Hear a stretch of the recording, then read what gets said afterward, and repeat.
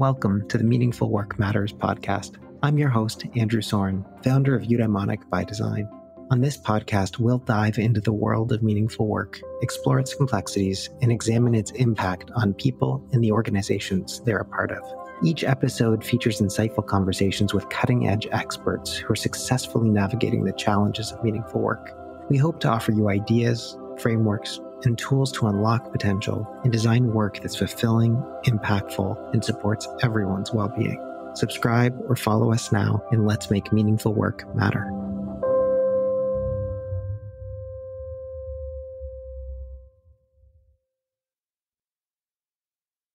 Welcome, Sara Steffens. It is such a pleasure to be able to have you on the podcast today. Um, I am excited to be able to dive into a whole bunch of different topics with you related to topics like employee activism and and and, uh, and unions specifically, and uh, and their relationship to meaningful work. But before we do, maybe you can just give listeners um, a brief uh, a brief hello and tell them a little bit about yourself. Thanks so much, and I'm delighted to be here today. Um, yeah, I'm a long time unionist. Um, I have really built my life around empowering workers and making sure that we can have what we need to thrive, you know, not just as employees, but as human beings. I started out by organizing my own workplace. I worked as a newspaper journalist for many years, and that is a shocking and world changing experience to find out what it's like to organize a workplace um, in the United States. In um, that was 2008, and um, went on to be. Uh, uh, union organizer and rep, um, hold a lot of different roles in my home union, Communications Workers of America. And now I am the director of the Worker Power Coalition, and we fight for labor law reform in the United States for workers in both the private and public sectors. Hmm. It sounds like that is very meaningful work in and of itself. It is. I'm incredibly fortunate. Um, well, let's let's just dive right in. You know, in the context of all of the kinds of labor relations and union work that you do, what what does meaningful work have to do with any of it? So, in my mind, every job is meaningful. Every job is important. All work has dignity. I really don't believe there's any such thing as unskilled labor, but not every workplace treats workers as though their jobs are important and meaningful you often I've often encountered this disconnect where it's entirely possible. It's really even common for workers to care a lot about what they do, um, especially people who are in roles where they're helping people. They care a lot about their clients, patients, customers. And so they can find great meaning in what they're literally doing in society on a day to day basis. But they're not finding that that commitment is being matched with basic decency. They may not have a living wage.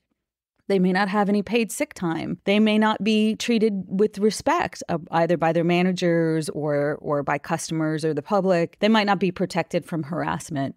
It's a complicated you know divide but something i think that unions are always trying to sort of heal that gap the meaning of our work and the commitment that we bring to our work should be matched by you know the conditions that we work in and the decency with which we're treated there's a, a lot of work that's done um, within the research on meaningful work about the relationship between decency and meaning. And in fact, um, somebody else who we've had on this podcast, David Blustein, um, David talks about uh, in some ways a, a, two by two like you can have you can kind of plot a job based on how much meaning is there and how much decency.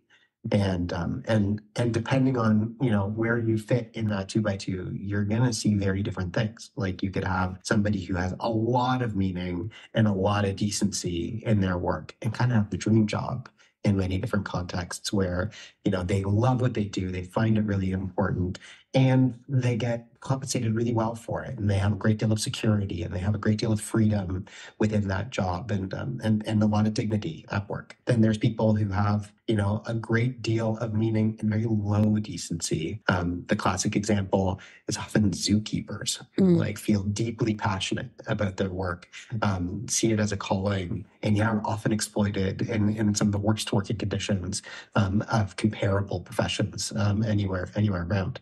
Um, and then you can have people who have, you know, a tremendous amount of decency, a great corner office, get paid very well, but are fundamentally doing bullshit jobs, as David Graeber might say, where there's zero meaning whatsoever in um, in the work that they're doing, um, or people who have neither meaning or decency at work. I guess one question I have for you: like, should we even be talking about meaning if we don't have decency in place? I don't I think it's important not to disregard that people still care about their work and they care about doing a good job even when they're not treated decently.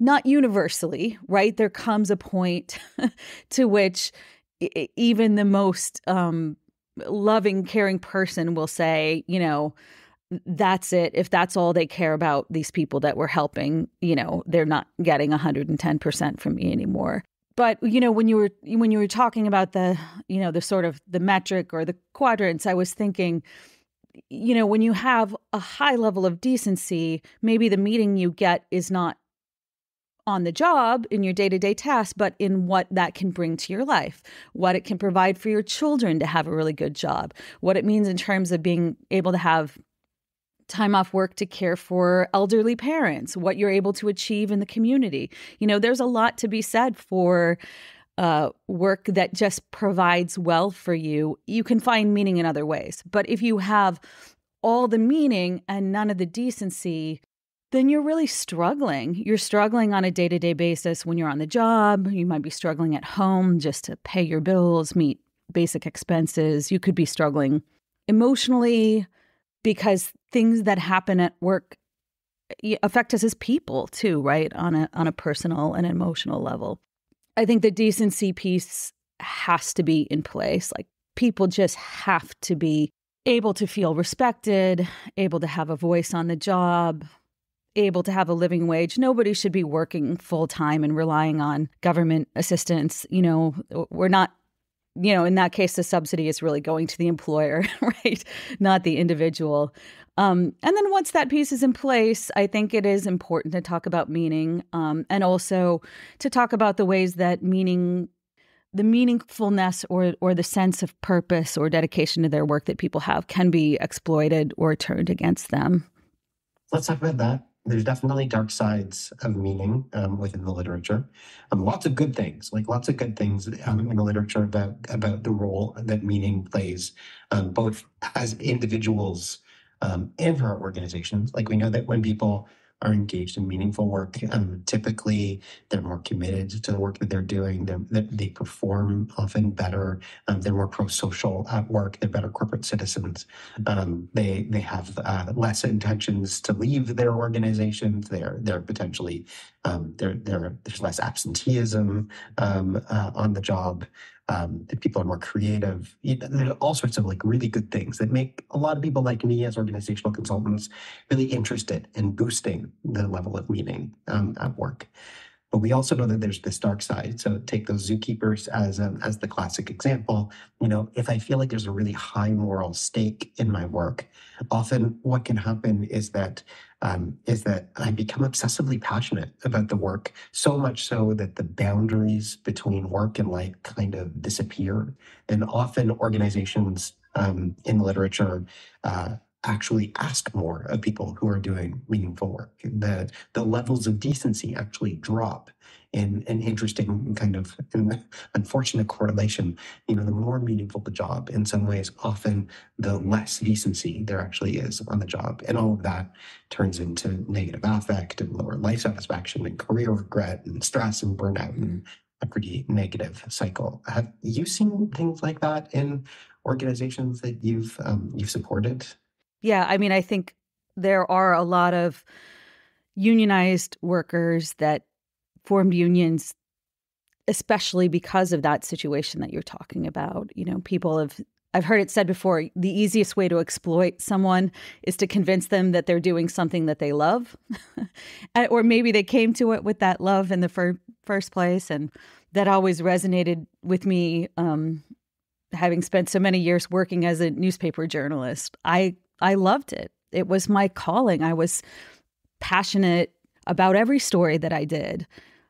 But, you know, work doesn't love you back right? So you see it a lot in um, nonprofit spaces, in in certain you know for-profit industries where you have these workers who care so much about what they're doing, and it just isn't matched by. I guess an organizational commitment to sort of that core level of decency that we've been talking about. So in mm. in the News Guild, right, which is my home union, which represents um, newspaper journalists and actually a lot of nonprofit workers too you have all of these members who care so deeply about their work and they see journalism as their calling and it's their contribution to the world and they are deeply aware of the potential impact to their work and they take a lot of personal responsibility. So even if you're underpaid, even if you're really like overworked, there's a lot of understaffing, you're really overwhelmed, these reporters are going to go the extra mile to make sure that they you know, when the story comes out in the newspaper the next day, it's everything's right. It's as good as it can be. The people who are in the story, you know, see that their truth has been told. And so, you know, this cycle just repeats like at a daily newspaper every single day. And so when I started working on the uh, newspaper union end of things, I used to joke about how impossible it was to get journalists to uh, what we call work to rule, right? Just doing exactly what's required of their job and not doing that extra 20 or 30% because it you know the next morning in the end it's that reporter's name on the article right and it makes it very hard to sort of balance things out between the amount of work that you're being paid or compensated for you know how much commitment or passion you really should be putting in and and that internal drive that you have and I think the other factor that comes into play there is uh, the shifting over time or over decades of what some of these professions are. So there was a time that a newspaper reporter, you know, it was the this was the deal. They would throw themselves wholeheartedly into their work and in exchange they could have a good middle class life. They could buy a house, afford a car, get married, have kids, send them to college, retire with dignity. And that, unfortunately, in too many places is not the world that we're living in anymore. So you have these hedge funds and private equity firms. You know, they don't care about any of that uh, mission driven passion or commitment to the cause, or they only care about it to the extent of, hey, we don't have to pay nearly as much as we would pay other profession- professionals to do kind of comparable work because people love and care about this work so much. So now we see journalists who uh, rely on food banks, who qualify for subsidized housing. It's this kind of crazy situation. And then, in a not unrelated development, a huge upsurge in union organizing in the media world. So the News Guild has grown by a third over the last couple of years. And you see a lot of organizing also, um, you know, in nonprofits and in the social justice sector, I think for similar reasons. People understand, you know, work in the end, work won't love me back, and it doesn't have to be this way. Do you see organizations concretely taking advantage of people's meaning? Yeah, I yeah. I think so the extent to which that's conscious, I'm not sure. You know, you might hear people say things like, well, we're all, you know, volunteers here to some extent. It's also a job, right? There is a difference between things that we volunteer to do wholly out of the goodness of our hearts and things that we do for our work and our livelihood. Again, as, as somebody going into organizations and often offering well-being programs or resilience programs to help people buffer or bolster their well-being in contexts where they are burning out or feeling incredibly stressed out. I know that there are some humans who are incredibly skeptical about those kinds of efforts because um, they uh, they might think that you're just you know, ignoring the systemic realities and trying to, in some way, blame or gaslight the individual. Mm-hmm. Um, uh, is that is that something that you've kind of seen or uh, or or have a perspective on? Right. I think where those kind of well-being initiatives are successful is where there's basic decency in place where you know workers are being listened to and treated with dignity. And so then it becomes an extension of you know the employer is saying we care about you as a person and they're demonstrating that in all kinds of ways. But when that's not the case in the workplace then it just underscores you know that that disconnect. It's like the the pizza party when you're horribly understaffed and everybody's you know at wits end. And it's like well thanks for the pizza but it's almost more of an insult than a than a help right? Like all the pizza slices in the world don't make up for it if you're working in a toxic environment if you're not able to pay for your bills or if you had to you know miss a an important event that your kid was maybe in something at school that you wanted to be at and you're being assigned to do mandatory overtime for the fourth or fifth day in a row which is you know something that happens to a lot of people. So is the pizza better than no pizza? I mean sometimes it's worse right? Sometimes it would be better not to have a the pizza and to just have the acknowledgement of you know what a bad situation it is. And in the end of course, to have the ch- the change, the structural change that needs to happen to really truly support people, and then there can be a piece of it. And the worst case is, you know, you mentioned sort of, it can be sort of like gaslighting or blaming the employee. When we were organizing my workplace, they had a meeting to tell us all how the uh, healthcare costs were going up a lot, and we'd be paying a lot more out of pocket the statement was a lot of these cost drives are uh, um, the a lot of what's driving these costs uh, and these increases are personal choices that employees are make are making. So think about that when you order that hamburger at lunch today. And it's just infuriating to have somebody blame you for, you know, the American healthcare system and its it's you know out of control cost overreaches. And i think in that kind of environment if somebody would have wanted to start a healthy eating program or switch out the options in the cafeteria it would have been read you know as a further poke uh, you know a stick in the eye of like you're not you're not giving us what i need. You're not acknowledging that there are forces here beyond our control. And in fact you're you're blaming us and saying if we were more centered or if more of us were vegetarians or if we did you know, XYZ, that things would be better. You know, that said, when I was at the union, I began a meditation program that was available to people for free to drop in. I thought it was great. The people that dropped in really appreciated it. Many people were not part of it. And that's okay too, right? I think it very much has to be presented of this is an option. It's here for you if it's helpful. It's not expected of you. It's a tool. It can feel uh, going into certain spaces like the work that we are being asked to do is a band aid mm-hmm. um, that isn't actually solving the real fundamental structural issues um, that are that are at work. Um, and, I think mindfulness, I mean, there's this wonderful article that came out in the Guardian on mindfulness conspiracy several years ago that um, that talks about you know just this huge um, kind of industry, multi-billion dollar industry now that um, that revolves around getting organizations to sign up for mindfulness apps and programs and things like that as the solution to helping people. Um, you know, if if you feel like you're in a situation that is um, too much for what you can handle, um, you know, a solution to that is uh, is to think about how do you become more mindful? How do you ultimately take um, how do you how, how do you how do you embrace a meditative stance to be able to deal with your own kind of um, uh, uh, you know emotional response to that situation as opposed to saying hey there's maybe a reason mm-hmm. why you're feeling those things in the first place and yes of course we should have personal resources to be able to deal with um, with all of that. But we should also have the enabling conditions so that we don't have to deal with that. And it's not really an either or situation. It has to be a both and situation. Right. You know, sometimes what you really need is paid time off. you know, take a, a bit of a break and be able to have that reset by spending time, you know, with family or people you love or going on vacation or walking in nature or focusing on what it is that's, you know, dividing your your mind, you know, your your ability to feel present at work.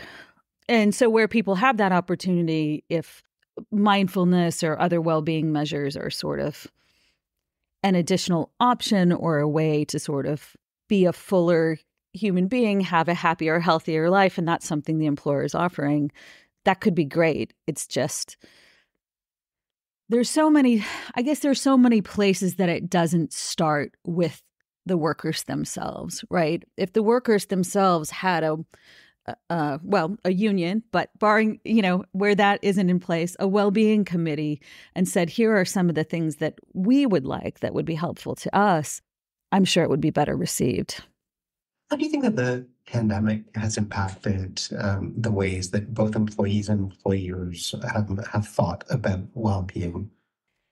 Yeah, so on this really basic level, I think the pandemic was a clarifying moment for a lot of workers. The workers who were being sent into unsafe situations day after day, sometimes without any sort of, you know, masks or protective equipment or real safety measures in place. And they came to realize, wow, I really am just dollars and cents to this company that I work for. Like they literally do not care if I die. Y- you can't unsee that once you've seen it, right? Those workers that were in those situations will never go back to feeling the same way that they did before the pandemic. Having lived through that I think it fundamentally changes people. And I also think that you can't tell somebody that they're essential, that their work is essential, their job is essential over and over again and not and then turn around and say, "Well, but we didn't mean but we didn't mean we were going to you know, pay you fairly or continue to protect you or treat you with dignity. You know, I think a lot about if you can remember back to the time when we were all, you know, uh, people would go out and beg, bang pots and pans or light candles for healthcare workers, right? It was a powerful showing of, you know, how much society needs and appreciates healthcare workers. But then that has to be matched by a commitment by by employers, by our society as a whole to support healthcare workers. You know, you've seen successful strikes right with a lot of healthcare workers going out and saying okay now now that we know how essential that we are healthcare workers have always known that but to really feel that from society and also what they sacrificed and went through you know should be recognized and compensated. Or we were a lot of people were hanging signs in front of their homes thanking delivery drivers right? Now you saw the uh, teamsters get a record contract for those delivery drivers because they were united. They understood our work is important. Um, society can't operate without us. And so we're not going back to that time when people would say that this is, you know, somehow a job that's less deserving than other kinds of work. We see those those gains um, sustaining um, as we get further and further away from the lockdown period and the essential work period. I do because I think that what people are willing to put up with for money has fundamentally shifted. Like mm. somehow a, a, a a door was opened or a window was open, like things just changed. And so I don't see people being willing to go back to you know some of those systems that really treat workers like they're disposable like just in time scheduling where you're constantly you know on on call and and your schedule might change at any given time but you're always expected to be available for work. You know if they're so essential why would we operate that way? Um understaffing you know some of these working conditions.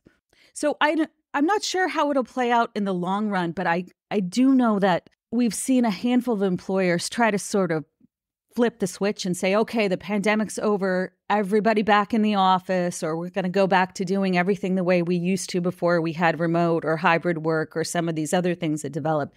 And it hasn't gone well for them. People are not willing to go back to the way that things were. Mm-hmm. Workers are different. workers are more willing to flex their power than any time I've seen in generations. People are understanding, especially in this economy, that the ability to withhold our labor is really powerful. And so you see that example happening over and over again. I think young workers understand this to a particular extent, so that to the extent that that persists, this will be a shift that's growing, not a shift that's dying out. Mm-hmm. And then the last thing I think about a lot that I think will not go back to the way that it was is the acknowledgement that people have you know, families, personal lives, things going on outside of work. So, those of us that worked remotely during the pandemic, we literally saw people's cats climbing across the keyboard, people's kids coming and, you know, cozying up and waving hello.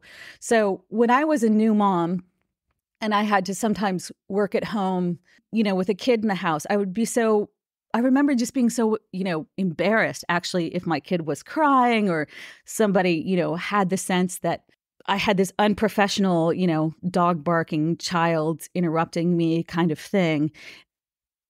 And now I look at it and think, why did I ever feel that way? And I think we've had, you know, everybody, so many of us have had that experience now of saying, we're actually, you know, people who have other people in our households. And why did we sort of pretend that we needed to be these professional people that didn't have outside lives? Those two things can coexist, they don't have to be in conflict. And to the extent that we are acknowledging that people have kids or other things going on in their life and saying we're going to find ways to accommodate that and still get your work done it's actually better for every, everyone. There was it was never good to pretend that we you know didn't have kids and parents and you know people eh, doctor's appointments things that we needed to do just as human beings not as you know employees of a corporation. As I hear you talk about the impact of being able to see people's actual lives um, and the realities that they are full human beings and not just resources in an organizational context, um, it shifts, I think, mm-hmm. people's perceptions. Yeah, I've sometimes thought that a huge part of my role in the labor movement is to just be the one that's saying, you know, we're we're also people. you know, we're people with bodies that get sick you know sometimes we might have babies. We we have things that we need to do. We have things that we care about outside of work and that's not bad. That doesn't make us less good employees or less good human beings. It's just part of being human. Like let's be human first and workers second. When it comes to creating the necessary conditions for moving forward what do you think is the role of policy and government? So a lot of it would be around the decency and dignity pieces. So one big role of government is to set standards that our capitalist system won't.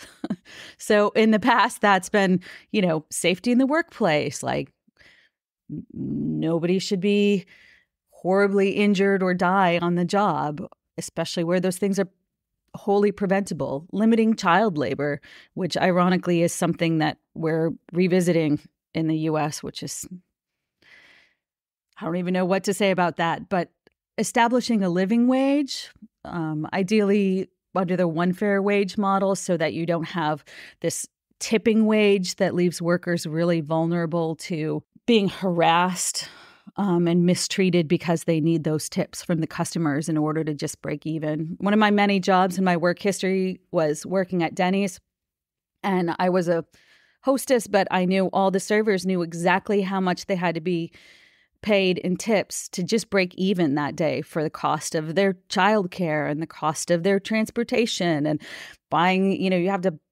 buy a new pair of stockings if you're a waitress wearing a uniform with a, a skirt every day. And so um, tipping wage leaves people vul- vulnerable and preventing harassment and discrimination in the workplace and making sure that those things are Uh, clearly illegal and that companies are making you know real and meaningful policies that keep that from happening.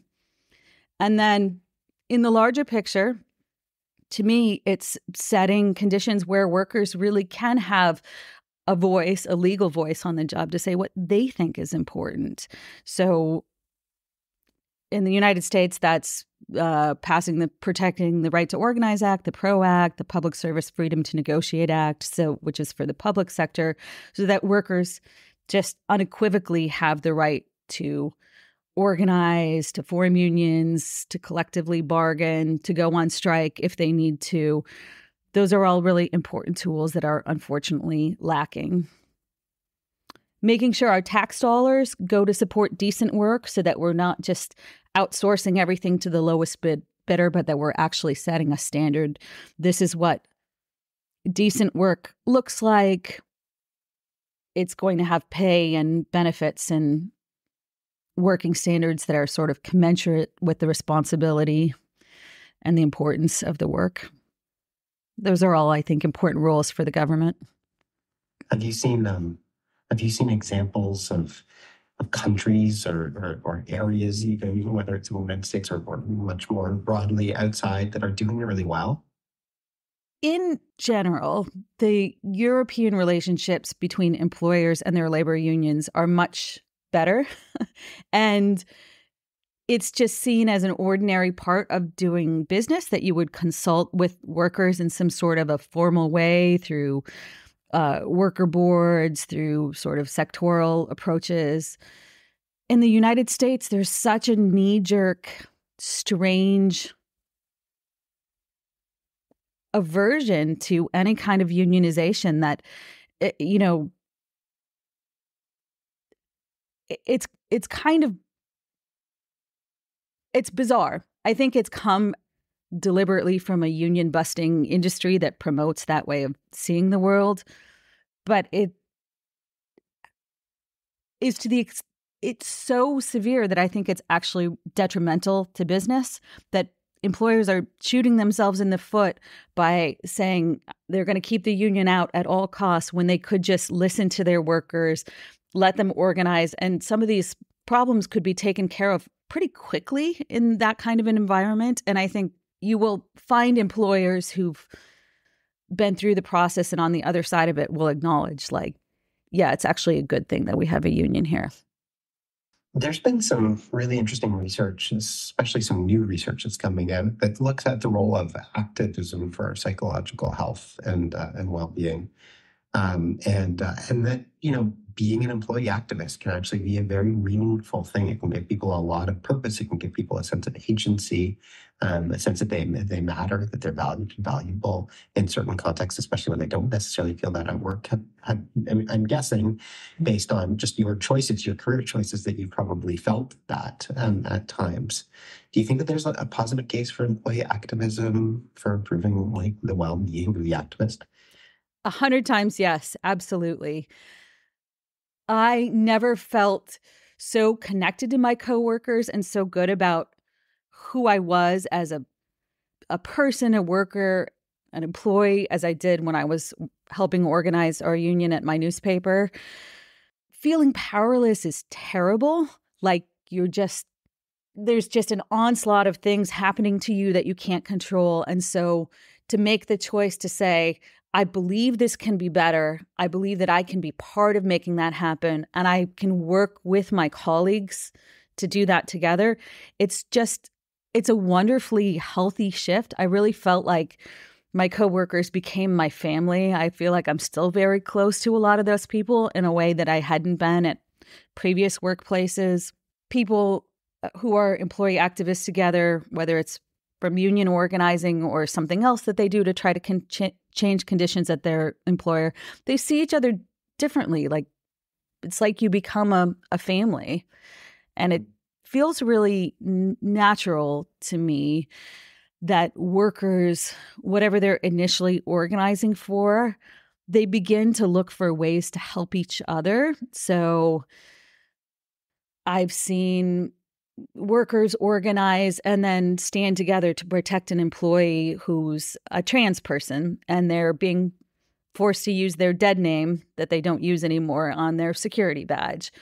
Or they organize maybe around a workplace issue and then they really want to get involved in the climate justice movement and how does their employers work impact that and how could their workplace be doing more? Or tech workers who want to make sure that their technology that they're you know helping to code or produce isn't being used in harmful ways in the global environment. So when you're able to do those kind of things standing up for racial justice lgbtq rights sort of global decency it, of course it brings meaning to your work right you see yourself as more than just you know a cog in a big machine you're somebody who's driving a positive change in the world. I'm curious about how how unions themselves advocate for their own workers' rights when it comes to well-being. Um, I, would imagine that sometimes it's probably a little bit like the parable of the shoemaker's children wearing no shoes. Um, but are, are there like great examples of of what that actually looks like? How, how do how do people doing this work actually bolster and buffer the well-being of those who are who are trying to do it? I wish I could tell you that unions are model employers. I think anybody who's worked for a union knows that that's not always the case. Where it works, it's because we are really listening to workers, you know, living our values in that way, actually creating opportunities. Yes, you know, at the bargaining table during collective bargaining, but in workplaces where there's a really great environment between the unionized employees and and their supervisors there are often lots of standing committees or sort of easy ways to make sure that the communication keeps flowing in those kind of workplaces stewards might have a great relationship with sort of frontline supervisors where they can work on keeping things from becoming a problem. So it's not that you have to always go through a real formal process to work everything out, but people see that they have, you know, a steward on the job who's their advocate on a day to day basis. Yeah, when it really works, it's rooted in respecting the dignity of people and that the idea that they're human beings. I've seen uh, unions and social justice workplaces, you know, go out of their way to tell people, hey, if you're deeply affected by this world event and you need to take some time off, let us know. We will be able to accommodate you in that. So acknowledging in that way that we do have this emotional connection to our to our work and the global community. What else should I have asked you about the topic of meaningful work that I haven't? Um, I just really wanted to underscore that idea that every job is valuable. Maybe not every worker experiences their work as meaningful.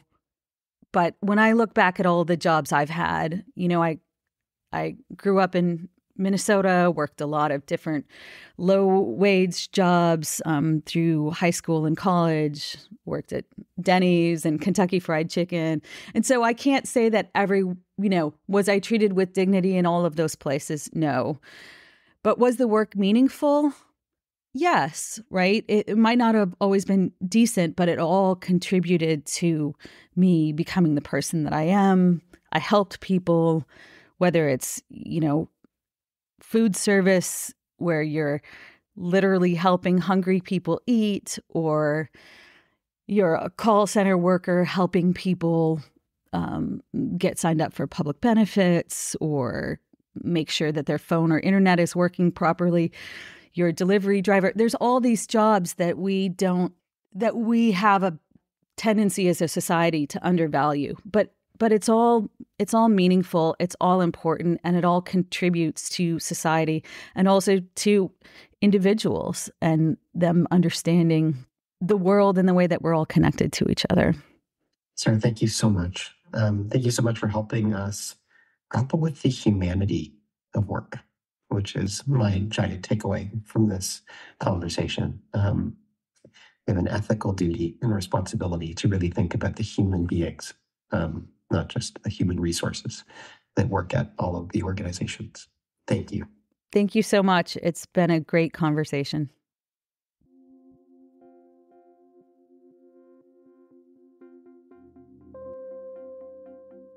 Thank you for joining us for another episode of Meaningful Work Matters. If you haven't already done so, be sure to subscribe to our podcast on your favorite platform. And if this episode resonated with you, please take a moment to leave us a review. Your feedback helps us make this podcast better and reach more listeners. You can connect with me, Andrew Soren, on LinkedIn, or visit www.eubd.ca to learn more about Eudaimonic by Design. Finally, if what you heard today spoke to you, tell your colleagues and people in your community about our podcast. We really appreciate your support in making meaningful work matter. See you next time.